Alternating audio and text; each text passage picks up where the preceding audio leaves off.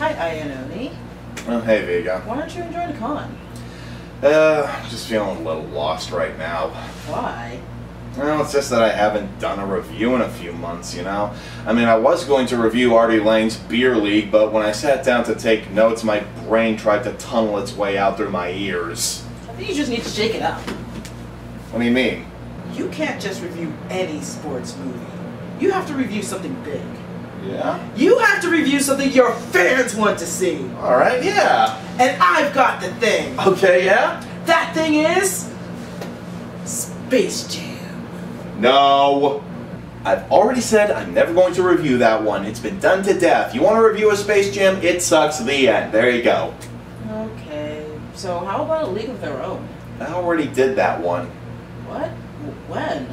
You did the title card, remember? Oh, I got to draw you an address. Yes.